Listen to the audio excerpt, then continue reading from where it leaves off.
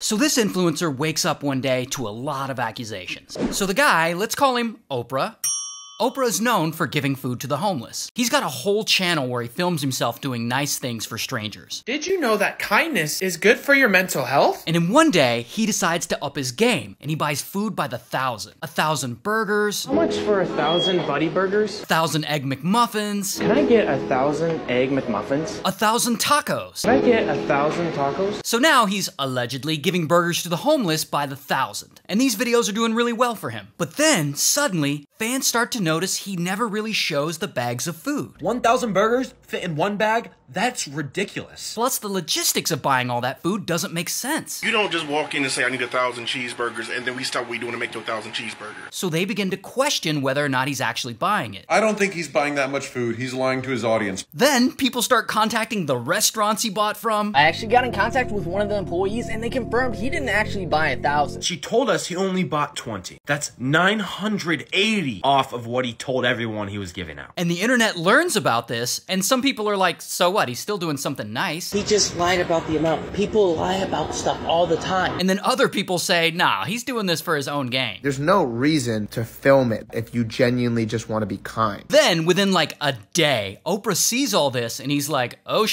I need to address this. So he pulls out a ukulele and he, I'm kidding, he makes a normal apology video. I just want to say that I did not buy a thousand burgers. I essentially was just trying to add clickbait to those videos. Honestly, I made a mistake and I shouldn't. And as far as apologies videos go, it's not bad. 8 out of 10. Would apologize again.